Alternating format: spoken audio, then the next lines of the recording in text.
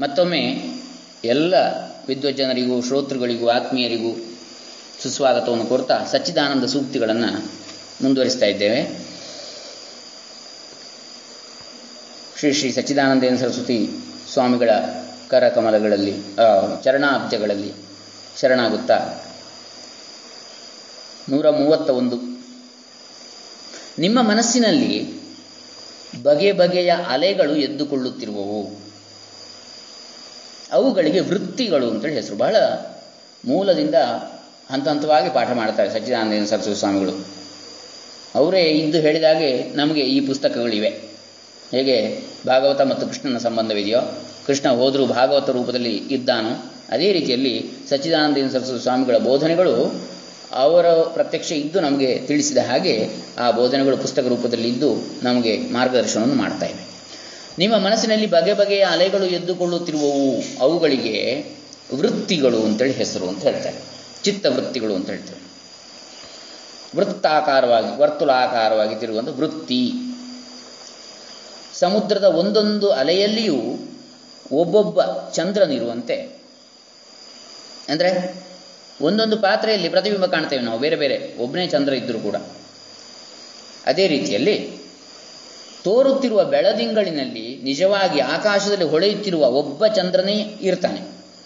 ಇದರಂತೆ ನಮ್ಮ ಅರಿವು, ಮರೆವು, ನೆನಹು, ನೆನಪು, ವಿಚಾರ, ಸಂಶಯ, ಭ್ರಾಂತಿ, ತತ್ವಜ್ಞಾನ ಮುಂತಾದ ಈ ಎಲ್ಲ ವೃತ್ತಿಗಳಲ್ಲಿಯೂ ಒಬ್ಬ ಚಂದ್ರನ ಪ್ರತಿಬಿಂಬಗಳೇ ಥಳಗುಟ್ಟುತ್ತಿವೆ ಅಂದರೆ ಒಂದೇ ಶಕ್ತಿ ಈ ಬೇರೆ ಬೇರೆ ರೀತಿಯಾಗಿ ನಮಗೆ ತೋರ್ತಾ ಇದೆ. ಆತ್ಮನೇ ನಿಮ್ಮ ಚಿತ್ತಾಕಾಶದ ಆಚೆ ಇರುವ ಆತ್ಮಚಂದ್ರನು ಅಂತ ಹೇಳ್ತಾರೆ. ಚಿತ್ತಾಕಾಶದ, ಚಿತ್ತ ಮನಸ್ಸು, ಹೃದಯ, ಹೃದಯಾಕಾಶದ ಆಚೆಗೆ ಇರತಕ್ಕಂತಹ ಆತ್ಮಚಂದ್ರ, ಅದೇ ನಮ್ಮ ಆತ್ಮ ಅಂತೇಳಿ ಇಲ್ಲಿ ಶ್ರೀಗಳು ಹೇಳ್ತಾರೆ.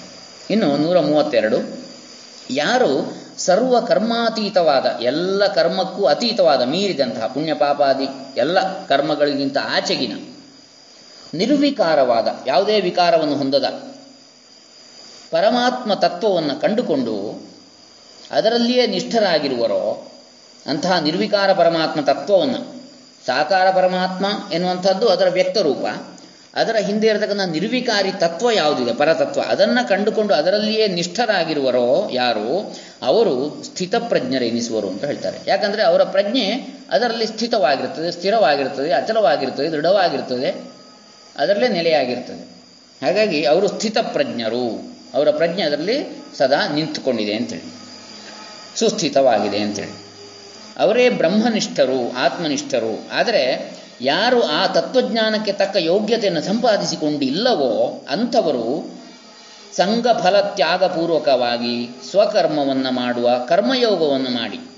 ಸಂಘ ಫಲ ತ್ಯಾಗಪೂರ್ವಕವಾಗಿ ಅಂದರೆ ಕರ್ಮಫಲ ಯಾವುದಿದೆ? ಅದನ್ನು ತ್ಯಾಗ ಮಾಡುತ್ತಾ, ತಮ್ಮ ತಮ್ಮ ಸ್ವಕರ್ಮ ಯಾವುದಿದೆ? ಸ್ವಧರ್ಮ ಯಾವುದಿದೆ? ತಮ್ಮ ಕರ್ತವ್ಯ ಅಂತೇಳಿ ಯಾವುದಿದೆ? ಅದನ್ನು ಕರ್ಮಯೋಗವನ್ನಾಗಿ ಮಾಡಿ. ಫಲಾಪೇಕ್ಷೆ ಇಲ್ಲದೆ. ಭಗವದರ್ಪಣ ಬುದ್ಧಿಯಿಂದ ಎಲ್ಲವನ್ನು ಭಗವಂತನಿಗೆ ಸಮರ್ಪಿಸ್ತಾ ಸಮರ್ಪಣ ಬುದ್ಧಿಯಿಂದ ಮಾಡಿ, ಆ ಬಳಿಕ ಅದನ್ನು ಕರ್ಮಯೋಗ ಅಂತ ಹೇಳ್ತೇವೆ. ಧ್ಯಾನದಿಂದ ಅದೇ ತತ್ವವನ್ನು ಕಂಡುಕೊಳ್ತಾರೆ. ಅದಾದ ನಂತರ ಈ ಕರ್ಮಯೋಗದ ಮೂಲಕ ಚಿತ್ತಶುದ್ಧಿಯನ್ನು ಹೊಂದಿ, ಜ್ಞಾನಕ್ಕೆ ಯೋಗ್ಯತೆಯನ್ನು ಹೊಂದುತ್ತಾರೆ.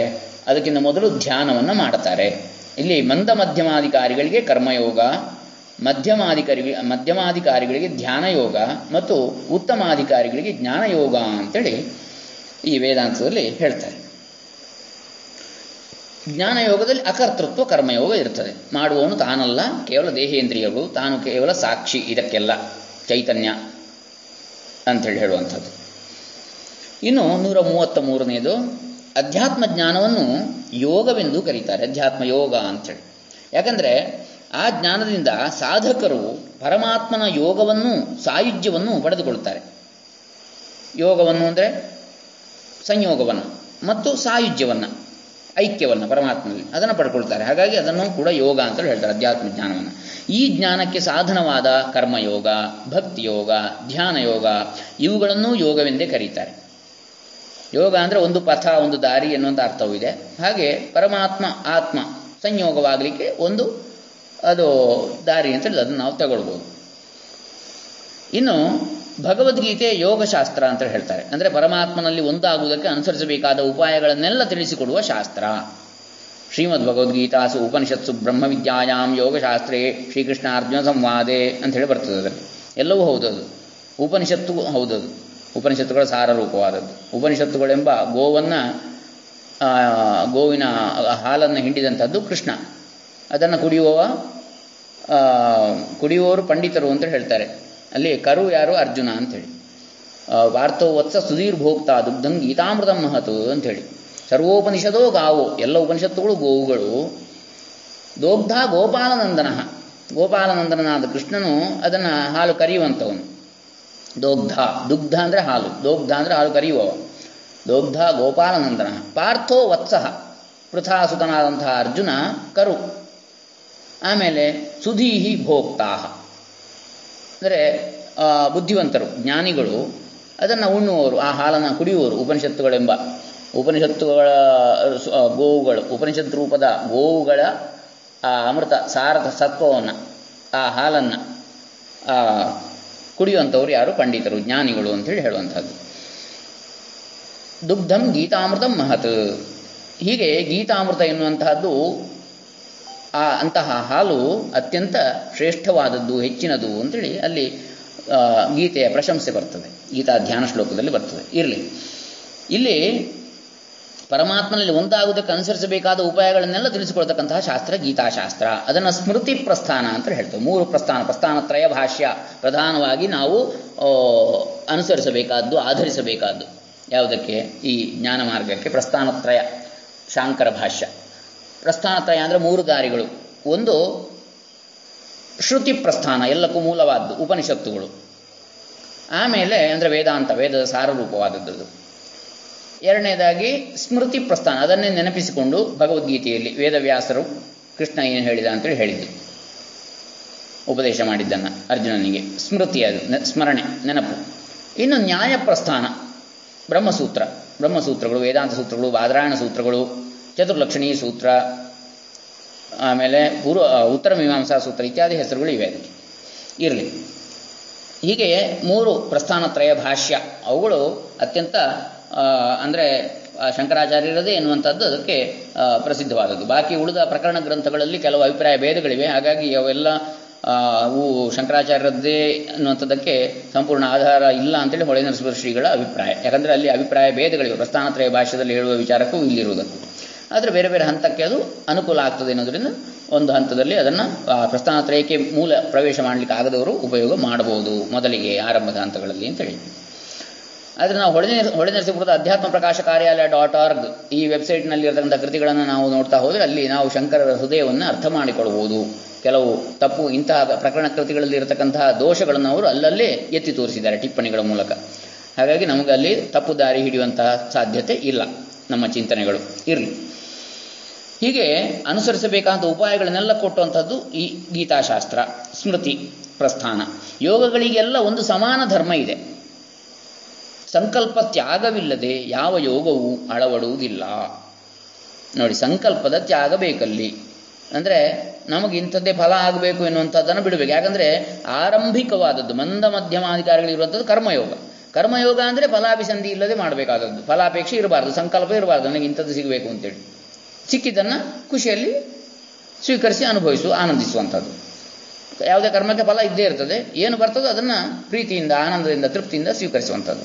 ಇದು ಕರ್ಮಯೋಗ. ಹಾಗಾಗಿ ಸಂಕಲ್ಪ ತ್ಯಾಗವಿಲ್ಲದೆ ಈ ಯಾವ ಯೋಗಗಳು ಕೂಡ ಆಗುವುದಿಲ್ಲ. ಕರ್ಮಯೋಗವೂ ಆಗುವುದಿಲ್ಲ, ಭಕ್ತಿಯೋಗ ಭಕ್ತಿಯೋಗ ಯಾಕೆ ಆಗುವುದಿಲ್ಲ? ಭಕ್ತಿಯೋಗ ಅಂದರೆ ಪರಮಾತ್ಮನ ಭಕ್ತಿ. ಅಲ್ಲಿ ಪರಮಾತ್ಮನೇ ಬೇಕು ಅಂತ ಕೇಳುವುದು ಹೊರತು ಪರಮಾತ್ಮನಿಂದ ನನಗೆ ಅದು ಕೊಡು, ಇದು ಕೊಡು, ಅದು ಕೊಟ್ಟರೆ ನಿನಗೆ ಅದನ್ನು ಹರಿಕೆ ಆಗ್ತೇನೆ ಅಂತೇಳಿ ಅಲ್ಲ. ಭಕ್ತಿಯೋಗ ಅಂದರೆ ಪರಮಾತ್ಮನೇ ತನಗೆ ಬೇಕು ಅಂತೇಳಿ. ಕರ್ಮಯೋಗ ಅಂತ ಹೇಳಿದರೆ ಫಲಾಭಿಸಂಧಿ ಇಲ್ಲದೆ ಕರ್ಮ ಮಾಡುವಂಥದ್ದು ಭಗವದರ್ಪಣ ಬುದ್ಧಿಯಿಂದ ಕರ್ಮ ಮಾಡುವುದು. ಧ್ಯಾನ ಯೋಗ ಅಂತ ಹೇಳಿದರೆ ಕೂಡ ಪರಮಾತ್ಮನ ಧ್ಯಾನ, ಚಿಂತನೆ. ಜೈ ಚಿಂತಾಯಾಮ ಪರಮಾತ್ಮನ ಕುರಿತಾದ ಚಿಂತನೆ, ಏಕಾಗ್ರವಾದ ಮನಸ್ಸು, ಬುದ್ಧಿ, ಇಂದ್ರಿಯಗಳಿಂದ. ಹೀಗೆ ಸಂಕಲ್ಪ ತ್ಯಾಗವಿಲ್ಲದೆ ಯಾವ ಯೋಗವೂ ಅಳವಡುವುದಿಲ್ಲ. ಸಂಕಲ್ಪವನ್ನು ನಾವು ಮೊದಲಿಗೆ ಬಿಡಬೇಕು. ಇದರಿಂದ ಏನು ಪ್ರಯೋಜನ ಅಂತೇಳಿ ಆಲೋಚನೆ ಮಾಡಬಾರ್ದು. ಅಂದರೆ ಫಲಾಪೇಕ್ಷೆ ಇಟ್ಟು ಯಾವುದನ್ನು ಕೂಡ ಮಾಡಬಾರ್ದು. ಇದನ್ನು ಮತ್ತೆ ಯಾಕೆ ನಾವು ಮಾಡೋದು? ಮೋಕ್ಷ, ಮೋಕ್ಷದ ಫಲ ನಮಗೆ ಯಾಕೆ ಅಂತ ಕೇಳಿದರೆ ಮೋಕ್ಷವು ಒಂದು ಫಲ ಅಲ್ಲ, ನಮ್ಮ ನಿಜ ಸ್ವರೂಪ. ನಮ್ಮ ಸ್ವರೂಪವೇ ಅದು. ನಾವು ಮುಕ್ತರು. ಅಮೃತಸ್ಯ ಪುತ್ರಾಹ. ವಿವೇಕಾನಂದರು ಕೂಡ ಹೇಳಿದರು. ಹಾಗಾಗಿ ನಮ್ಮ ನಿಜ ಸ್ವರೂಪ ಏನು, ಅದನ್ನು ಅರ್ಥ ಮಾಡಿಕೊಳ್ಳುತ್ತದಷ್ಟೇ ಹೊರತು ಜ್ಞಾನಾದೇವೈ ಕೈವಿಲ್ಲ. ಆ ಜ್ಞಾನ ಆದರೆ ಅದೇ ಮೋಕ್ಷ ಎನ್ನುವಂಥದ್ದು. ಹಾಗಾಗಿ ಅದು ಒಂದು ಫಲ ಅಂತೇಳಿ ನಾವು ಇಂಥದ್ದನ್ನು ಮಾಡಿದರೆ ಅಂಥದ್ದು ಸಿಗ್ತದೆ ಅಂತೇಳಿ ಅಲ್ಲ. ನಮ್ಮ ನಿಜ ಸ್ವರೂಪವನ್ನು ನಾವು ಈಗ ಮರೆತಿದ್ದೇವೆ ಅವಿದ್ಯೆ ಅಜ್ಞಾನಗಳಿಂದ ಮಾಯೆಯಿಂದ. ಅದನ್ನು ನಾವು ಮತ್ತೆ ನೆನಪಿಸುವಂಥದ್ದಷ್ಟೇ ಅವಿದ್ಯೆಯನ್ನು ಹೋಗಲಾಡಿಸಿದರೆ ಜ್ಞಾನ ಬರ್ತದೆ. ಹಾಗಾಗಿ ಅಜ್ಞಾನವನ್ನು ಹೋಗಲಾಡಿಸಿದರೆ ಇರಲಿ. ಇನ್ನು ನೂರ ಮೂವತ್ತ ನಾಲ್ಕನೆಯದು ಪರಮಾತ್ಮನನ್ನು ಕಂಡುಕೊಳ್ಳುವುದಕ್ಕೆ ಮುಖ್ಯವಾಗಿ ಎರಡು ಉಪಾಯಗಳಿವೆ. ನೇರವಾಗಿ ನಮ್ಮ ಆತ್ಮನನ್ನೇ ನೋಡಿಕೊಳ್ಳುವುದು ಒಂದು. ಇಂದ್ರಿಯಗಳು, ಮನಸ್ಸು, ಬುದ್ಧಿ, ಅಹಂಕಾರ ಇವುಗಳಲ್ಲಿ ಒಂದರಲ್ಲಿ ಒಂದನ್ನು ಕರಗಿಸಿಕೊಂಡು ಕೊನೆಗೆ ಅದೇ ಆತ್ಮನನ್ನು ಕಂಡುಕೊಳ್ಳುವುದು ಮತ್ತೊಂದು. ಈ ಎರಡು ಮಾರ್ಗಗಳಲ್ಲಿ ಒಂದು ಅಳವಡಿಸುವುದಕ್ಕಿಂತ ಮೊದಲು ಒಂದನ್ನು ಅಳವಡಿಸುವುದಕ್ಕಿಂತ ಮೊದಲು ಸರ್ವತ್ರ ಭಗವದ್ಭಾವನೆ ಮಾಡುವುದನ್ನು ನಾವು ಕಲಿಬೇಕು. ಅಂದರೆ ಎಲ್ಲದರಲ್ಲಿಯೂ ಭಗವಂತನನ್ನು ಕಾಣಬೇಕು ಅಂತ. ಜಗತ್ತಿನಲ್ಲಿ ಯಾವ ಯಾವ ದೃಶ್ಯಗಳು ಎಲ್ಲರ ಮೆಚ್ಚುಗೆಗೆ ಕಾರಣವಾಗಿರುವವೋ ಅವೆಲ್ಲವೂ ಭಗವಂತನ ತೇಜಸ್ಸಿನ ಅಂಶವೆಂದು ಭಾವಿಸುವುದು ಅದಕ್ಕೂ ಮೊದಲನೆಯ ಸಾಧನ. ಅಂದರೆ ಯದ್ಯದ್ ವಿಭೂತಿಮತ್ಸತ್ವಂ ಶ್ರೀಮದೂರ್ಜಿತಮೇವ ತತ್ತದೇವಾವಗಚ್ಚತ್ವಂ ಮಮ ತೇಜೋಂಶ ಸಂಭವಂ ಅಂತ ಕೃಷ್ಣಂ ಕೃಷ್ಣ ಹೇಳಿದ್ದಾನೆ. ಮಮ ತೇಜೋಂಶ ಸಂಭವಂ ಯಾವ್ಯಾವುದು ವಿಶೇಷವಾಗಿ ಕಾಣ್ತವೆ ಜಗತ್ತಿನಲ್ಲಿ? ಸತ್ಯಂ ಶಿವಂ ಸುಂದರಂ ಅಂತ ಹೇಳಿದಾಗ ಯಾವುದು ಅತ್ಯಂತ ಸತ್ಯವಾಗಿ ತೇಜಸ್ಸಿನ ಪ್ರಕಾಶಿಸ್ತಾ ಇದೆಯೋ, ಯಾವುದು ಅತ್ಯಂತ ಮಂಗಳಕರವಾಗಿ ಪ್ರಕಾಶಿಸ್ತಾ ಇದೆಯೋ, ಯಾವುದು ಅತ್ಯಂತ ಸುಂದರವಾಗಿ ಪ್ರಕಾಶಿಸ್ತಾ ಇದೆಯೋ, ಇದೆಲ್ಲವೂ ಕೂಡ ವಿಶೇಷವಾದದ್ದು ಯಾವುದಿದೆಯೋ ಅದರಲ್ಲಿ ಪರಮಾತ್ಮನ ಮೊದಲು ಕಾಣಬೇಕು. ಅದಾದ ನಂತರ ಎಲ್ಲದರಲ್ಲಿಯೂ ಕಾಣಬೇಕು. ಎಲ್ಲದರಲ್ಲಿ ಕಾಣಲಿಕ್ಕೆ ಆಗದವ ಮೊದಲ ಹಂತ ಹಾಗೆ. ಆಮೇಲೆ ಜಗತ್ತಿನಲ್ಲಿ ಅಣುರಿಣ ದೃಢಕಾಶಗಳಲ್ಲಿ ಭಗವಂತನನ್ನು ಕಾಣುವಂಥದ್ದು. ಇದಾದ ನಂತರ ಇದು ಯಾವುದು ಅಂತರ್ನಿರೀಕ್ಷಣೆ. ಹೊರಗಿನದ್ದನ್ನೆಲ್ಲ ಪರಮಾತ್ಮ ಸ್ವರೂಪವಾಗಿ ನೋಡಿದ ನಂತರ ವೀಕ್ಷಣೆ ಮಾಡಿದ ನಂತರ ಆಮೇಲೆ ಅಂತರ್ನಿರೀಕ್ಷಣೆ, ಒಳಕ್ಕೆ. ಸರಿದು ನಾವು ಅದೇ ಪರಮಾತ್ಮನನ್ನು ಬ್ರಹ್ಮಾಂಡದಲ್ಲಿ ಏನು ನೋಡಿದ್ದೇವೆ ಅದನ್ನು ಪಿಂಡಾಂಡದಲ್ಲಿ ಕೂಡ ನೋಡುವಂಥದ್ದು, ನಮ್ಮೊಳಗೂ ಕೂಡ. ಯಾಕಂದರೆ ನಾವು ಆ ಬ್ರಹ್ಮಾಂಡದ ಒಂದು ಅಂಶವೇ. ಇಡೀ ಬ್ರಹ್ಮಾಂಡದಲ್ಲಿ ನಾವು ಒಂದು ಭಾಗ. ಹಾಗಾಗಿ ನಾವು ಕೂಡ ಅದೇ ಪರಮಾತ್ಮ ಸ್ವರೂಪ ಎನ್ನುವಂಥದ್ದನ್ನು ತಿಳಿಯುವಂಥದ್ದು ಕೊನೆಯದಾಗಿ. ಹೀಗೆ ಇದನ್ನು ವಿಭೂತಿ ಯೋಗ ಅಂತೇಳಿ ಕರೀತಾರೆ. ಅಂದರೆ ಒಂದು ಅಂಶವನ್ನು. ಯಾವುದು ವಿಶೇಷ ವಿಶೇಷವಾಗಿ ಯಾವ್ಯಾವುದು ಕಾಣ್ತಾ ಇರ್ತದೆ ಜಗತ್ತಿನಲ್ಲಿ, ಅದರಲ್ಲಿ ಪರಮಾತ್ಮನ ಕಾಣುವಂಥದ್ದು ಅದು ವಿಭೂತಿ ಯೋಗ ಅಂತ. ಆ ವಿಶೇಷವಾದ ಭೂತಿ, ಐಶ್ವರ್ಯ ಪರಮಾತ್ಮದ ಯಾವುದಿದೆ? ಸೂರ್ಯ, ಚಂದ್ರ, ನಕ್ಷತ್ರಗಳು. ವಿಶೇಷವಾದ ಏನೇನು ಕಾಣಿಸ್ತದೆ ಜಗತ್ತಿನಲ್ಲಿ? ಅಗ್ನಿ ಇತ್ಯಾದಿ, ವಾಯು, ಇದೆಲ್ಲ ವಿಶೇಷ ಶಕ್ತಿಗಳು. ಅದರಲ್ಲಿ ಪರಮಾತ್ಮನ ಕಾಣುವಂಥದ್ದು ಮೊದಲಿಗೆ. ಅದಾದ ನಂತರ ಎಲ್ಲದರಲ್ಲೂ ಕಾಣುವಂಥದ್ದು. ಅಣು, ರೇಣು, ತೃಣ ಕಾಷ್ಟಗಳಲ್ಲಿ ಕೂಡ. ಅಂದರೆ ಅಣು, ಸಣ್ಣದು, ಸೂಕ್ಷ್ಮವಾದು, ರೇಣು, ಧೂಳಿನ ಕಣ, ತೃಣ, ಹುಲ್ಲು, ಕಾಷ್ಟ ಒಣ ಕಟ್ಟಿಗೆ ಎಲ್ಲದರಲ್ಲಿ ಕೂಡ ಇದ್ದಾನೆ ಪರಮಾತ್ಮ ಅಂತೇಳಿ ಇನ್ನು ನೂರ ಮೂವತ್ತೈದನೇ ನುಡಿಮುತ್ತು. ಪರಮಾತ್ಮನ ಮಾಯೆಯೇ ಈ ನಾಮರೂಪಗಳ ಜಗತ್ತಿನ ರೂಪದಲ್ಲಿ ಕಾಣುತ್ತಿರುವಂಥದ್ದು. ಆ ಪರಮಾತ್ಮನ ಮಾಯೆ, ಈ ಹೆಸರು, ಬೇರೆ ಬೇರೆ ಹೆಸರುಗಳು, ಬೇರೆ ಬೇರೆ ರೂಪಗಳು, ಅದಕ್ಕೆ ಸರಿಯಾದ್ದು. ಇಂತಹ ಜಗತ್ತು, ನಾಮ ಮತ್ತು ರೂಪಾತ್ಮಕವಾದದ್ದೇ ಜಗತ್ತು, ಸೃಷ್ಟಿ. ಇದು ಕಾಣುವುದು ಹೇಗೆ? ಪರಮಾತ್ಮನ ಮಾಯೆಯೇ ಕಾಣುವಂಥದ್ದು ಈ ರೀತಿಯಾಗಿ ಅಂತೇಳಿ. ಮಾಯೆಯನ್ನು ಮಾಯೆಯಾಗಿ ಕಾಣುವವರೆಗೂ ನಮಗೆ ರಾಗದ್ವೇಷ ಮೋಹಗಳ ಕಾಟವು ತಪ್ಪುವುದಿಲ್ಲ. ಇದೆಲ್ಲ ಮಾಯೆ ಅಂತೇಳಿ ನಾವು ಎಲ್ಲಿವರೆಗೆ ತಿಳಿಯುವುದಿಲ್ಲೋ ಅಲ್ಲಿವರೆಗೆ ನಮಗೆ ರಾಗದ್ವೇಷ ಮೋಹಗಳ ಕಾಟ ತಪ್ಪುವುದಿಲ್ಲ. ರಾಗ ಅಂದರೆ ಅದರ ಬಗ್ಗೆ ಅನುರಾಗ, ಪ್ರೀತಿ ಹುಟ್ಟುವಂಥದ್ದು ಬೇಕು ಅಂತಾಗುವಂಥದ್ದು, ದ್ವೇಷ ಅಂದರೆ ಬೇಡ ಅಂತೇಳಿ ಆಗುವಂಥದ್ದು, ಇಚ್ಛಾ ಅಂದರೆ ಇಷ್ಟ, ಅನಿಷ್ಟ ಅಂತೇಳಿ. ಇಷ್ಟ ಪ್ರಾಪ್ತಿ, ಅನಿಷ್ಟ ಪರಿಹಾರ. ಇನ್ನು ಮೋಹ ಅದರ ಬಗ್ಗೆ ಅಟ್ಯಾಚ್ಮೆಂಟ್ ಬಂಧನ. ಇದು ಇವುಗಳ ಕಾಟ ತಪ್ಪುವುದಿಲ್ಲ. ಇಲ್ಲಿವರೆಗೆ ನಾವು ಇದನ್ನು ಮಾಯೆ, ನಾಟಕ ಜಗವು ನಾಟಕ ರಂಗ ಅಂತ ಕಾಣೋದಿಲ್ವೋ ಅಲ್ಲಿವರೆಗೆ. ಆದರೆ ಪರಮಾತ್ಮನಿಗಿಂತ ಬೇರೆ ಆಗಿರತಕ್ಕಂತಹ ಯಾವ ಮಾಯೆಯೂ ಇಲ್ಲ ಎಂಬ ತತ್ವವನ್ನು ಮನಗಂಡ ಕೂಡಲೇ ಮಾಯೆಯೇ ಮಾಯವಾಗ್ತದೆ ಅಂತ ಹೇಳ್ತಾರೆ ಶ್ರೀಗಳು. ಪರಮಾತ್ಮನಿಗಿಂತ ಬೇರೆಯಾದಂತಹ ಯಾವ ಮಾಯೆಯೂ ಇಲ್ಲ. ಯಾಕೆ? ಪರಮಾತ್ಮನೇ ಮಾಯಿ. ಆ ಮಾಯೆಯನ್ನು ತನ್ನ ಅಂಕೆಯಲ್ಲಿ ಇಟ್ಟುಕೊಂಡಿರುವವ ಅಥವಾ ತನ್ನದೇ ಒಂದು ಸ್ವರೂಪ ಅದು. ಮಾಯೆ ಮಾಯೆ ನಮಗೆ ತೋರುವಂಥದ್ದು. ಎಂಬುದನ್ನು ನಾವು ಮನಗಂಡ ಕೂಡಲೇ ಆ ಮಾಯೆಯೇ ಮಾಯವಾಗ್ತದೆ. ಮಾಯಿನಂ ಪರಮೇಶ್ವರಂ. ಮಾಯಾಂತು ಪ್ರಕೃತಿಂ ವಿದ್ಧಿ, ಮಾಯಿನಂತು ಪರಮ, ಮಾಯಿ, ಮಾಯಿನಂತು ಮಹೇಶ್ವರಂ ಅಂತ ಹೇಳ್ತಾರೆ. ಪ್ರಕೃತಿ ಎನ್ನುವಂಥದ್ದು ಮಾಯೆ. ಅದನ್ನು, ಅದರ ಸೂತ್ರಧಾರ, ಅದನ್ನು ಧರಿಸಿರುವವ, ಅದರ ಪ್ರೇರಕ ಯಾರು? ಅವನು ಮಾಯಿ, ಪರಮಾತ್ಮ. ಪುರುಷ, ಪ್ರಕೃತಿ ಪುರುಷ. ಪುರುಷ ಅಂದರೆ ಇಲ್ಲಿ ಸ್ತ್ರೀ ಪುರುಷ ಅನ್ನೋ ಅರ್ಥದಲ್ಲಿ ಅಲ್ಲ. ಆತ್ಮಸ್ವರೂಪ ಅಂತೇಳಿ ಅರ್ಥ ಇನ್ನು ಆಗ ಮಾಯೇ ಮಾಯ ಆಗ್ತದೆ ಜಗತ್ತೆಲ್ಲವೂ ಪರಮಾತ್ಮನೇ ಎಂಬ ಹೆಚ್ಚಿನ ಪರಮಾರ್ಥವು ನಮ್ಮ ಮನಸ್ಸಿನಲ್ಲಿ ಹೊಳೆದು ಬಿಡುತ್ತದೆ ಅಂತೇಳಿ ಹೇಳ್ತಾರೆ. ಮಾಯ ಮಾಯವಾದ ಕೂಡಲೇ ಅಲ್ಲಿ ಪರಮಾತ್ಮನೇ ಕಾಣಿಸ್ತಾನೆ. ಯಾಕಂದರೆ ಎರಡು ಇರುವುದು ಜಗತ್ತಿನಲ್ಲಿ. ಒಂದು ಮಾಯ, ಇನ್ನೊಂದು ಪರಮಾತ್ಮ. ಮಾಯ ಮಾಯ ಆದರೆ ಪರಮಾತ್ಮ ಗೋಚರವಾಗ್ತಾನೆ. ಅಂದರೆ ನಮ್ಮ ಕಣ್ಣಿಗೆ ಕೈ, ಕಾಲು, ಕಣ್ಣು, ಮೂಗುಗಳಿಂದ ಕಾಣಿಸ್ತಾನೆ ಅಂತ ಅರ್ಥ ಅಲ್ಲ. ಸಾಕಾರನಾಗಿ. ಮತ್ತೆ ಎಲ್ಲವೂ ಪರಮಾತ್ಮ ಸ್ವರೂಪವೇ ಎಂಬ ಅರಿವು ನಮಗಾಗ್ತದೆ ಎಂಬ ತಿಳುವಳಿಕೆ, ಎಂಬ ಜ್ಞಾನ. ಇನ್ನು ಯಾಕಂತ ಹೇಳಿದ್ರೆ ಅದು ಸಾಕಾರ ಅಂತ ಹೇಳಿ ನಾವು ಒಂದು ನಾಮರೂಪಗಳಿಗೆ ಲಿಮಿಟ್ ಮಾಡಿದರೆ, ಮಿತಿ ಮಾಡಿದರೆ, ಯಾವಾಗ ಅದು ಒಂದು ಪ್ರದೇಶದಲ್ಲಿ ಮಾತ್ರ ಇರ್ತದೆ, ಪರಮಾತ್ಮ ತತ್ವ. ಹಾಗಿರ್ಲಿಕ್ಕೆ ಸಾಧ್ಯ ಇಲ್ಲ. ಅಂದರೆ ಅದು ಒಂದು ಸಣ್ಣ ಲಿಮಿಟೇಷನ್ ಆಗ್ತದೆ ಯಾವಾಗ ಅಮಿತ, ಅನಂತ, ಅನಾದಿ ಆಗಿರತಕ್ಕಂತಹ ಈ ತತ್ವ ಅದನ್ನು ಮಿತಿಗೊಳಿಸಿದರೆ ಅದು ನಮ್ಮ ಮನಸ್ಸಿನ ಇಂದ್ರಿಯಗಳ ಶಕ್ತಿಯ ಮಿತಿಯನ್ನು ತೋರಿಸ್ತದೆ ಹೊರತು ಆ ಮಿತಿಯನ್ನು ನಾವು ಮೀರಿದಾಗ ನಮಗೆ ಅತ್ಯದಿಷ್ಟ ದಶಾಂಗುಲಂ ಎನ್ನತಕ್ಕಂತಹ ಆ ಪರಮಪುರುಷನ ಅರಿವಾಗ್ತದೆ. ಅಂದರೆ ಹತ್ತು ಅಂಗುಲ ಈ ಸೃಷ್ಟಿಗೂ ಬ್ರಹ್ಮಾಂಡಕ್ಕೂ ಆಚೆಗೆ ಅವನು ಮೀರಿದ್ದಾನೆ, ಇದಕ್ಕಿಂತಲೂ ಮೀರಿದ್ದಾನೆ ಎನ್ನುವಂಥದ್ದನ್ನು ಅದು ಸೂಚಿಸ್ತದೆ ಪುರುಷ ಸೂಕ್ತದಲ್ಲಿ. ಸಹಸ್ರಶೀರ್ಷ ಪುರುಷ ಸಾವಿರಾರು ತಲೆಗಳಿವೆ ಅವನಿಗೆ, ಸಹಸ್ರಾಕ್ಷ ಸಹಸ್ರಪಾತ್, ನೂರಾರು ಇಂದ್ರಿಯಗಳಿವೆ ಅವನಿಗೆ, ಕಣ್ಣುಗಳಿವೆ, ಇಂದ್ರಿಯಗಳಿವೆ ಸಾವಿರಾರು. ಸಾವಿರಾರು ಅಂದರೆ ಅನಂತ ಎನ್ನುವ ಅರ್ಥದಲ್ಲಿ. ಸಭೂಮಿಂ ವಿಶ್ವತೋ ವೃತ್ವಾ ಅವನು ಸಮಸ್ತ ಬ್ರಹ್ಮಾಂಡವನ್ನು ಎಲ್ಲೆಡೆಯಿಂದ ವಿಶ್ವತಃ ಸರ್ವತಃ ವೃತ್ವ ಆವರಿಸಿ ಅತ್ಯತಿಷ್ಠದ್ದಶಾಂಗುಲಂ ಇದನ್ನು ಮೀರಿ ಆಚೆಗೆ ಹತ್ತಂಗುಲ ಆಚೆ ಇದ್ದ ಹತ್ತಂಗುಲ ಅಂತ ಸುಮ್ಮನೆ ಹೇಳಿದ್ದು. ಅಂದರೆ ಇದನ್ನೆಲ್ಲವನ್ನು ಮೀರಿ ಇದ್ದಾನೆ ಅವನು. ಇಷ್ಟೇ ಅಲ್ಲ ಅಂತೇಳಿ ತೋರುವ ಬ್ರಹ್ಮಾಂಡ ನಮ್ಮ ಇಂದ್ರಿಯ ಗೋಚರವಾದದಷ್ಟೇ ಅಲ್ಲ. ಇದಕ್ಕಿಂತ ಇಂದ್ರಿಯ, ಈ ಬ್ರಹ್ಮಾಂಡವೇ ನಮಗೆ ಸಂಪೂರ್ಣ ಇಂದ್ರಿಯ ಗೋಚರ ಆಗುವುದಿಲ್ಲ. ಇನ್ನೂ ಎಷ್ಟೋ ನಕ್ಷತ್ರಗಳು ಇನ್ನು ನಮ್ಮ ವಿಜ್ಞಾನಗಳು ಕಾಣಲಿಲ್ಲ. ಹಾಗಿರುವಾಗ ಇದನ್ನು ಮೀರಿ ಅವನಿದ್ದಾನೆ ಅಂತ ಹೇಳಿದ್ದು ಅದಕ್ಕೆ ಬೇಕಾಗಿ. ಅದಕ್ಕೆ ಅಂತ್ಯ ಇಲ್ಲ ಅಂತ ಅನಂತ ಎನ್ನುವಂಥದ್ದು ಆ ಪರಮಾತ್ಮನ ಸ್ವರೂಪಕ್ಕೆ. ಇರಲಿ. ಪರಮಾತ್ಮನ ವ್ಯಕ್ತ ರೂಪ ಇದು, ಬ್ರಹ್ಮಾಂಡ. ತೋರಿಕೆ, ಪರಮಾತ್ಮ ತೋರುವಂಥದ್ದು ಈ ರೀತಿಯಲ್ಲಿ ಅಂತೇಳಿ. ಪರಮಾತ್ಮನ ಮಾಯೆ ಅದನ್ನು ನಾವು ನೋಡಿ, ಆಯಿತು. ಪರಮಾತ್ಮನನ್ನು ಕಾಣುವುದು ಕಷ್ಟ ಸಾಧ್ಯ ಅಂಥೇಳಿ ನಮ್ಮಗಳಿಗೆ, ನಮಗೆ ತೋರಿದರೂ ಕೂಡ ಜ್ಞಾನಿಗಳ ದೃಷ್ಟಿಯಿಂದ ಅದು ಬಹಳ ಸುಲಭವಾಗಿರ್ತದೆ ಅಂತ ಹೇಳ್ತಾರೆ. ನೂರ ಮೂವತ್ತಾರನೇ ನುಡಿಮುತ್ತು ಯಾಕಂದರೆ ಪರಮಾತ್ಮನು ನಮ್ಮೆಲ್ಲರ ತೀರ ಒಳಗಿನ ಸ್ವರೂಪವೇ ಆಗಿರ್ತಾನೆ. ಯಾಕಂದರೆ ಸತ್ ಎಕ್ಸಿಸ್ಟೆನ್ಸ್ ದ ಪ್ಯೂರ್ ಎಕ್ಸಿಸ್ಟೆನ್ಸ್ ಸತ್ ಅಸ್ತಿತ್ವ. ಚಿತ್ the pure energy or pure ಏನು ನಾಲೆಡ್ಜ್ ಅಂತ ಹೇಳ್ತೇವೆ. ಶುದ್ಧ ಜ್ಞಾನ ಅಥವಾ ಶುದ್ಧ ಚೈತನ್ಯ. ಸತ್ ಚಿತ್. ಆನಂದ. Pure bliss. ಹೀಗೆ. ಅಂದರೆ ಪರಮಾನಂದ. ಈ ಮೂರು ಸತ್ ಚಿತ್ ಆನಂದ. ಪ್ಯೂರ್ ಎಕ್ಸಿಸ್ಟೆನ್ಸ್ ಅಂತ ಹೇಳಿದರೆ ಅಸ್ತಿತ್ವ. ಎಲ್ಲದರ ಮೂಲ ಅಸ್ತಿತ್ವ. ಎಲ್ಲಕ್ಕೂ ಆಧಾರವಾಗಿರತಕ್ಕಂಥದ್ದು. ಇದೆಲ್ಲವೂ ತೋರಲಿಕ್ಕೆ ಕಾರಣವಾಗಿರ್ತಕ್ಕಂಥದ್ದು. ಹಾಗಾಗಿ ಅದು ಎಲ್ಲದರ ಒಳಗಿನ ಸ್ವರೂಪವೇ ಆಗಿರುತ್ತದೆ, ಆಗಿರುತ್ತಾನೆ ಪರಮಾತ್ಮ ಎನ್ನುವಂಥವನು. ಆತನನ್ನು ಆತನನ್ನು ಅಂತ ಹೇಳಿದರೆ ದಯವಿಟ್ಟು ಇಲ್ಲಿ ಸ್ತ್ರೀ ಪುರುಷ ಭಾವನ ತರಲಿಕ್ಕಿಲ್ಲ. ಇದು ಲಿಂಗ ಅಲ್ಲ, ಅವನು ಲಿಂಗಾತೀತ, ಕಾಲಾತೀತ, ಗುಣಾತೀತ, ನಾಮರೂಪ ಅತೀತ. ಹಾಗಾಗಿ ಇಲ್ಲಿ ಆ ಶಬ್ದ ಪರಮಾತ್ಮ, ಆತ್ಮ ಎನ್ನುವ ಶಬ್ದ ಸಂಸ್ಕೃತದಲ್ಲಿ ಪುಲ್ಲಿಂಗ ಶಬ್ದ ಅಷ್ಟೇ. ಅವನು ಶಬ್ದಗಳಿಗೂ ಅತೀತನಾದವನು. ಆ ಶಬ್ದಕ್ಕನುಸಾರವಾಗಿ ವಾಕ್ಯದಲ್ಲಿ ನಾವು ಹೇಳುತ್ತೇವೆ. ನಿಜವಾಗಿ ಅವನು ವಾಂಗ್ ಮನಸ್ಸು ಅತೀತ, ಮಾತು ಮನಸ್ಸುಗಳಿಗೆ ನಿಲುಕದಂಥ ತತ್ವ. ಅವನಾಗಲಿ ಅವಳಾಗಲಿ, ಅವನು ಅವಳು ಅಂತೇಳಿ ಆಗಲ್ಲ. ಇಲ್ಲಿ ಶಬ್ದ ಪುಲ್ಲಿಂಗ ಶಬ್ದ ಆದ ಕಾರಣ ಅವನು ಅಂತ ಹೇಳ್ತಾ ಇದ್ದೇವೆ ಅಷ್ಟೇ. ಆತನನ್ನು ಇಂದ್ರಿಯಗಳಿಂದ ಕಾಣುವುದಕ್ಕೆ ಆಗಲಾರದು. ಮನಸ್ಸಿನಿಂದ ತರ್ಕಿಸುವುದಕ್ಕೂ ಆಗದು. ಆದರೆ ಇಂದ್ರಿಯಗಳನ್ನು, ಮನಸ್ಸನ್ನು ಆಚೆಗೆ ಬಿಟ್ಟು ನಮ್ಮೊಳಗೆ ನಾವು ನಿಂತರೆ ಕೂಡಲೇ ಪರಮಾತ್ಮ ನಿಷ್ಠೆ ದೊರಕಿ ಬಿಡುತ್ತದೆ ಅಂತ ಹೇಳ್ತಾರೆ. ಈ ಜಗತ್ತಿನ ಹುಟ್ಟು, ಇರವು ಅಂದರೆ ಅಸ್ತಿತ್ವ. ಹೊಂದು ಅಂದರೆ ನಾಶ.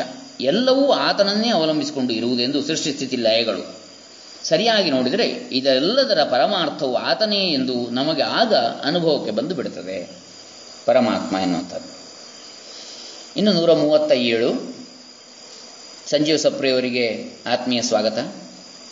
ವಿವೇಕಿಯಾದ ಮನುಷ್ಯನಿಗೆ ಫಲದಲ್ಲಿ ಗುರಿ ಇರುತ್ತದೆ.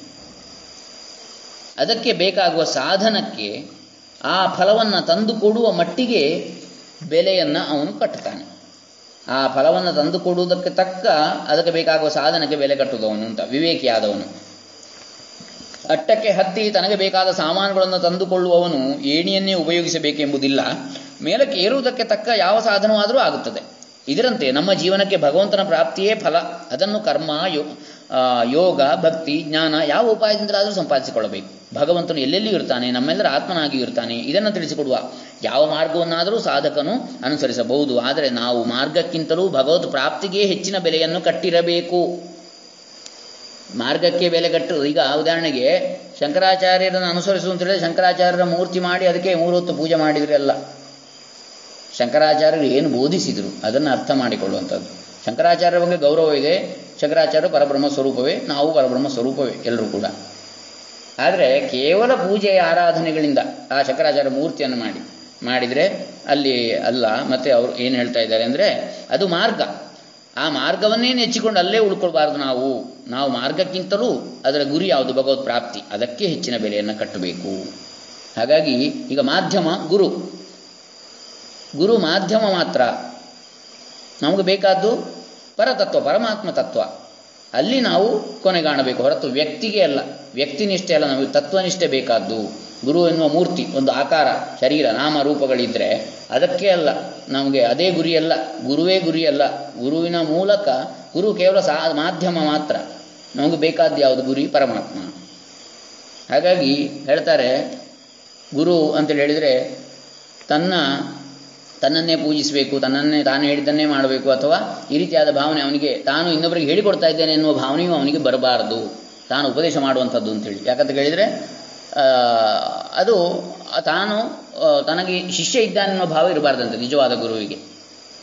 ಯಾಕಂದರೆ ತನ್ನ ಶಿಷ್ಯರ ಸಂಖ್ಯೆಯನ್ನು ಹೆಚ್ಚು ಮಾಡುವುದು ಅವನ ಇದಲ್ಲ, ಉದ್ದೇಶ ಅಲ್ಲ, ಮತ್ತು ಕಷ್ಟದಲ್ಲಿರುವವನು. ಅಂದರೆ ಈ ಯಾರು ಪರಮಾತ್ಮನ ಸರಿಯಾದ ದಾರಿಯನ್ನು ತೋರ್ತಾರೋ ಪರಮಾತ್ಮ ದರ್ಶನಕ್ಕೆ, ಪರಮಾತ್ಮ ಜ್ಞಾನಕ್ಕೆ. ಅಂಥವನೇ ನಿಜವಾದ ಗುರು ಹೊರತು ತನ್ನ ಬೆಂಬಲಿಗರ ಸಂಖ್ಯೆಯನ್ನು ಹೆಚ್ಚು ಮಾಡಿಕೊಳ್ಳುವರು ಅಲ್ಲ ಅಂತೇಳಿ. ಇನ್ನು ನೂರ ಮೂವತ್ತ ಎಂಟನೇದು ಸಕಲ ಶಾಸ್ತ್ರಗಳ ಉಪದೇಶ ಏನು? ಸರ್ವ ಮತಗಳ ಸಾರ ಯಾವುದು? ಸಾಧುಗಳೆಲ್ಲರೂ ನಮಗೆ ಉಪದೇಶಿಸ್ತಾ ಇರತಕ್ಕಂಥ ಜೀವನ ಸೂತ್ರ ಯಾವುದು? ಇಡೀ ವಿಶ್ವಕ್ಕೆಲ್ಲ ಆಧಾರವಾಗಿ ಒಂದು ಮಹತ್ ತತ್ವವಿದೆ ಮಹಾತತ್ವವಿದೆ. ಸಕಲ ಜೀವರಿಗೂ ಜೀವನವನ್ನು ಅತ್ಯುನ್ನತದ ಮಟ್ಟಕ್ಕೆ ಏರಿಸಬಲ್ಲ ಒಂದಾನೊಂದು ಜೀವನ ಕೇಂದ್ರವಿದೆ ಸೆಂಟರ್ ಮನುಷ್ಯನ ಜನ್ಮವು ಸಾರ್ಥಕವಾಗಬೇಕಾದರೆ ಅದನ್ನೇ ಲಕ್ಷ್ಯದಲ್ಲಿಟ್ಟುಕೊಂಡಿರಬೇಕು ಮಾನವ ವರ್ಗವೆಲ್ಲ, ಪ್ರಾಣಿ ವರ್ಗವೆಲ್ಲ ಹೆಚ್ಚೇಕೆ ಇಡೀ ವಿಶ್ವವೇ ಅದರಲ್ಲಿ ಒಂದಾಗಿದೆ ಎಂಬ ಘನ ತತ್ವವನ್ನು ಅನುಸಂಧಾನ ಮಾಡ್ತಾ ಇರಬೇಕು ಅಂತ ಹೇಳ್ತಾರೆ ಶ್ರೀಗಳು. ಉಪನಿಷತ್ತು ಎಂದರೆ ಗ್ರಂಥ ಮಾತ್ರವಲ್ಲ, ಅದರಲ್ಲಿ ಅಡಗಿರುವ ಬ್ರಹ್ಮವಿದ್ಯೆಯನ್ನೇ ಮುಖ್ಯಾರ್ಥದಲ್ಲಿ ಉಪನಿಷತ್ತು ಅಂತೇಳಿ ಕರೀತಾರೆ. ಉಪನಿಷತ್ತು ಅಂತ ಹೇಳಿದ ಒಳ್ಳೆ ಅಲ್ಲಿ ಒಂದು ಐತಿರಿ ಉಪನಿಷತ್ತಿನ ಪುಸ್ತಕ ಇದೆ. ಅದೇ ಅಂತೇಳಿ ಅಲ್ಲ, ಅದರಲ್ಲಿರುವ ಯಾವ ಬ್ರಹ್ಮ ವಿದ್ಯೆ ಇದೆ, ಅದು ಉಪನಿಷತ್ತು, ಮುಖ್ಯವಾದ್ದು. ನಮ್ಮ ಅಜ್ಞಾನಾದಿಗಳನ್ನು ನಾಶ ಮಾಡಿ ನಿಶ್ಚಿತವಾದ ತಿಳುವಳಿಕೆಯನ್ನು ಕೊಟ್ಟು ನಮ್ಮೆಲ್ಲರಿಗೂ ಆತ್ಮನಾದ ಬ್ರಹ್ಮವನ್ನು ಮುಟ್ಟಿಸುವುದರಿಂದ ಬ್ರಹ್ಮವಿದ್ಯೆಗೆ ಉಪನಿಷತ್ತು ಉಪ ಸಮೀಪೆ ನಿಷೀದತಿ ಕುಳ್ಳಿರಿಸುತ್ತದೆ ನಮ್ಮನ್ನು, ಬ್ರಹ್ಮನ ಸಮೀಪದಲ್ಲಿ ಕೊಂಡು ಹೋಗಿ ಅಂದರೆ ನಾವೇ ಬ್ರಹ್ಮವಸ್ತು ಅಂತೇಳಿ ತಿಳಿಸಿ, ತಿಳಿಯಪಡಿಸ್ತದೆ.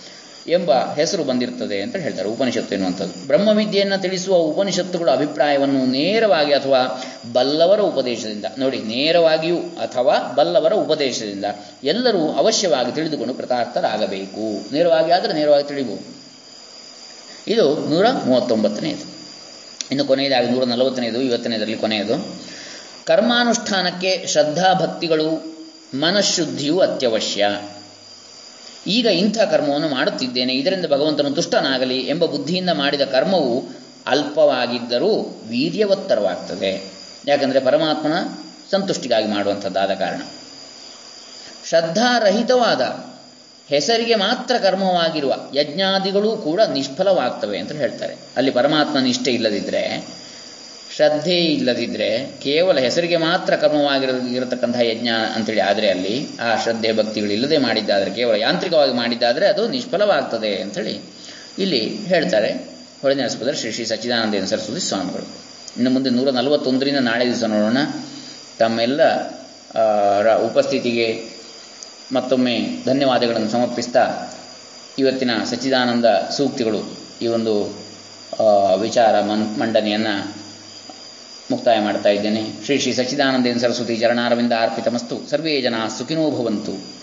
ಓಂ ತತ್ಸತ್. ಈಗ ಸಂವಾದಕ್ಕೆ ಅವಕಾಶ ಇದೆ.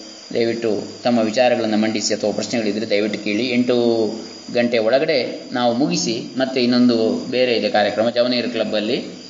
ಅಲ್ಲಿ ಕೂಡ ಬನ್ನಿ, ಎಲ್ಲರೂ ಕೂಡ ಜವನೀರ್ ಕ್ಲಬ್ಗೆ. ಧನ್ಯವಾದಗಳು.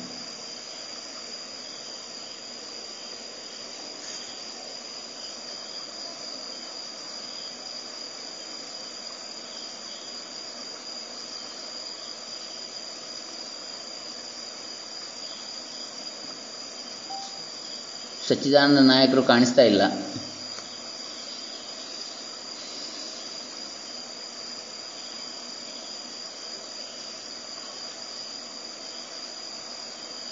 ಯಾರಾದರೂ ತಮ್ಮ ವಿಚಾರಗಳನ್ನು ಹಂಚಿಕೊಳ್ಳೋದಿದೆಯಾ ಅಥವಾ ಏನಾದರೂ ಪ್ರಶ್ನೆ ಮಾಡೋದಿದೆಯಾ ಇದ್ರೆ ದಯವಿಟ್ಟು ಬನ್ನಿ.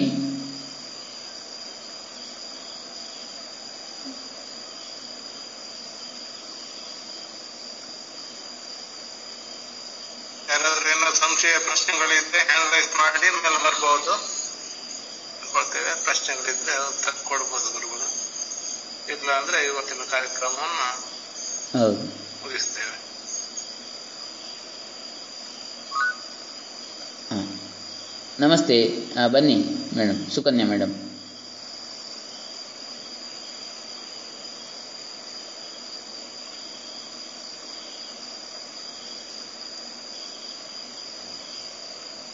ಬನ್ನಿ.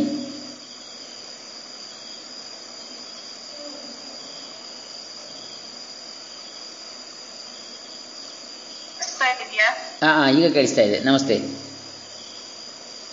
ಹಾ ನಮಸ್ತೆ. ಪ್ರಶ್ನೆ ಏನಿಲ್ಲ? ಕಾರ್ಯಕ್ರಮ ತುಂಬಾ ಚೆನ್ನಾಗಿ ನಡೆಸಿಕೊಡ್ತೀರಾ? ದಿವಸ ನಡೆಸಿಕೊಡ್ತಾ ಇದ್ದೀರಾ? ಧನ್ಯವಾದಗಳು. ಆ ಟೈಮಿಗೆ ಬರ್ಲಿಕ್ಕೆ ಆಗುದಿಲ್ಲ ನಮಗೆ ಹೌದು ನಮಗೂ ಒಂದೊಂದ್ಸಲ ಲೇಟ್ ಆಗ್ತದೆ. ಹೌದು. ಧನ್ಯವಾದಗಳು. ಹೌದೌದು ಹೌದು. ಖಂಡಿತ. ನಮಗೂ ಹಾಗೆ ಆಗ್ತದೆ ಒಂದೊಂದ್ಸಲ. ಏಳು ಗಂಟೆ ಅಂತೇಳಿ ಹೌದು ಏಳು ಕಾಲು ಆಗ್ತದೆ ಒಮ್ಮೊಮ್ಮೆ ನಮ್ದು ಕೂಡ. ಆದ್ರೂ ಹೌದು. ಇದ್ದಷ್ಟು ಹೊತ್ತು ಅವಕಾಶ. ಹೌದೌದು ಹೌದು. ಹೌದು ಹೌದು ಅದೇ. ಹೌದು. ಗೃಹಿಣಿ ಗೃಹ ಮುಚ್ಯತೆ ಅಂತ ಕಷ್ಟ ಹೌದು ಖಂಡಿತ ನಾನು ಅಂದ್ಕೊಂಡಿದ್ದೆ ಇವತ್ತು ಯಾರು ಬರ್ತಾರಾ ಇಲ್ವಾ ಅಂತೇಳಿ ಗಣೇಶ ಹೌದೌದೌದು. ಅದೇ ಅದೇ. ಹೌದು ಖಂಡಿತ ಖಂಡಿತ. ನಾನು ನಾನದು ಏಳು ಹತ್ತಾಯ್ತು ಇವತ್ತು ಸ್ಟಾರ್ಟ್ ಮಾಡುವಾಗ. ಹೌದು. ಇಲ್ಲ ನಮಗೆ ಮಗಳು ಹಾ, ಮಗಳು ಮೊಮ್ಮಗ ಎಲ್ಲ ಒಂದು ವಾರ ಇದ್ರು. ಹಾ ಹಾ ಸರಿ ಸರಿ. ಹೌದು ಹೌದು ಸಂತೋಷ. ಅದೇ ಹಾಗೆ ನಿನ್ನೆ ಹೋದ್ರು ಅವರು. ಹಾ, ಹಾ, ಹಾಗೆ ಇವತ್ತು ಸ್ವಲ್ಪ ಬಂದೆ. ಓ ಹೋ ಹೋ. ಸರಿ ಸರಿ ಸರಿ. ಆದ್ರೆ ತುಂಬಾ ಇಷ್ಟ ಆಗ್ತದೆ ಆಧ್ಯಾತ್ಮ ಕಾರ್ಯಕ್ರಮ ಕೇಳಲಿಕ್ಕೆ. ಹೌದು. ತುಂಬಾ ಧನ್ಯವಾದ. ತುಂಬಾ ಧನ್ಯವಾದಗಳು ತಮಗೂ ಕೂಡ. ಹ್ಮ್ ಧನ್ಯವಾದಗಳು. ಅಂದ್ರೆ ಪ್ರಶ್ನೆ ಅಂತ ಏನಿಲ್ಲ ನೀವು. ಹೇಳಿದ್ದೆಲ್ಲ ಕೇಳೋದಷ್ಟೇ ನಾವು. ಸರಿ ಮತ್ತೆ ಅಳವಡಿಸಿಕೊಳ್ಳೋದು ಅದೇ ಅದೇ ಅದೇ. ಹೌದು ಖಂಡಿತ. ಹ್ಞೂ ಹಾ. ಅದೇ. ಹೌದು ಹರೇ ರಾಮ ಹರೇ ರಾಮ ನಮಸ್ತೆ. ನಮಸ್ತೆ. ಹಾ. ಓಕೆ ಇನ್ನು ಬೇರೆ ಏನು? ಏನೋ ಕೇಳ್ಬೇಕಂತ ಮೇಲ್ ಬಂದೆ ನಾನು. ಹಾ ನಿನ್ನೆ? ಹಾ ಹಾ ಹಾ. ಹಾ. ಹಾ ಮತ್ತೆ ನೀವು ಅದೇ ಹಾ? ಹಾಂ ಹೌದು ಆ ವಯಸ್ಕ ವ್ಯಕ್ತಿ ಎಂತ ಕೇಳಿದೆ ಅಂತ ಅರ್ಥ ಆಗದೆ. ನಾನು ಒಟ್ಟಾರೆ ತಲೆ ಸುಮ್ಮನೆ ಆಗ್ಬಿಟ್ಟು ಕೇಳ್ಬೇಕಂತ ಪ್ರಶ್ನೆ ಮರ್ತೋಯ್ತು ಮತ್ತೆ. ಆಗ? ಆ ಹಾಂ. ಅರ್ಥ ಆಗಲ್ಲ ಎಂತ ಮಾತಾಡಿದ್ರು ಆ ವಚನಗಳ ವಚನ ಹೇಳಿದವರ? ವಚನ.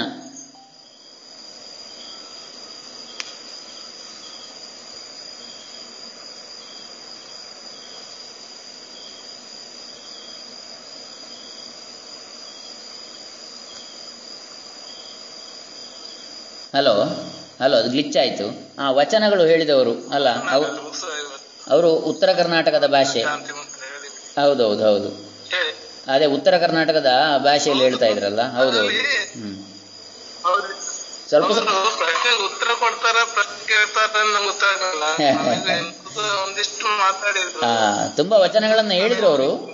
ಸಾಂದರ್ಭಿಕವಾಗಿತ್ತು ವಚನಗಳು ಆದರೆ ಅವರ ವಾಕ್ಯಗಳು ನಮಗೆ ಅದರ ವಿವರಣೆ ಅವರ ಭಾಷೆ ಕನ್ನಡ ನಮಗೆ ಸ್ವಲ್ಪ ಕಷ್ಟ ಆಗ್ತಿತ್ತು ಕೆಲವು. ಪ್ರಯೋಗಗಳು ಅರ್ಥ ಆಗಲಿಕ್ಕೆ. ಉತ್ತರ ಕರ್ನಾಟಕದ ಭಾಷೆ. ಹೌದು. ಅಲ್ಲಿ ಯಾವುದು ಕಾಮವನ್ನು ಪ್ರೇಮವನ್ನಾಗಿ ಹೇಗೆ ಪರಿವರ್ತನೆ ಮಾಡಬೇಕು? ಯಾವ ಯಾವುದನ್ನು? ಮೋಹವನ್ನು ಏನು ಮಾಡಬೇಕು? ಲೋಭವನ್ನು ಏನು ಮಾಡಬೇಕು ಪರಿವರ್ತನೆ ಅನ್ನೋದನ್ನು ಆ ವಚನದಲ್ಲಿ ಚೆನ್ನಾಗಿ ಇರುವುದನ್ನು ತೋರಿಸಿಕೊಟ್ರು ಅವರು.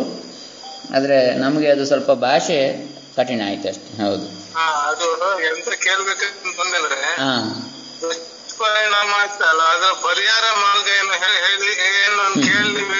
ಪರಿಹಾರ ಅದೇ ಅದೇ. ಪರಿಹಾರ ಹೌದು. ಹಾ ತ್ಯಾಗ. ತ್ಯ- ಅದೇ ತ್ಯಾಗದಿಂದಲೇ ಆನಂದ ಅಂತೇಳಿ. ಅಂದ್ರೆ ತ್ಯಾಗ ತ್ಯಾಗೇನೈಗೆ ಅಮೃತತ್ವ ಮಾನಸು ಅಂತೇಳಿ. ಉತ್ತರಾರ್ಧ. ಹೌದು. ಹೌದು. ಅದರ ಪರಿಹಾರ. ತ್ಯಾಗ ಅಂದ್ರೆ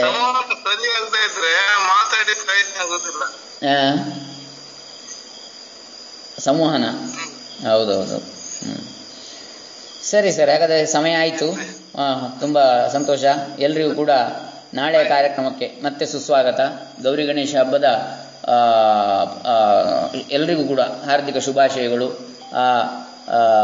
ಪಾರ್ವತಿ ಮತ್ತು ಮಹಾಗಣಪತಿ ಎಲ್ಲರ ಆಶೋತ್ತರಗಳನ್ನು ಈಡೇರಿಸಿ ಎಲ್ಲರನ್ನೂ ಕೂಡ ಪರಮಾತ್ಮ ದರ್ಶನಕ್ಕೆ ಅನುಗ್ರಹ ಮಾಡಲಿ ಅಂತೇಳಿ ಪ್ರಾರ್ಥಿಸ್ತಾ. ಓಂ ಶಾಂತಿ ಶಾಂತಿ ಶಾಂತಿ ಹರಿ ಓಂ ತತ್ಸತ್ ಬ್ರಹ್ಮಾರ್ಪಣಮಸ್ತು. ನಾಳೆ ಏಳು ಗಂಟೆಗೆ ಮತ್ತೆ ಎಲ್ಲರೂ ಸೇರೋಣ. ಧನ್ಯವಾದಗಳು.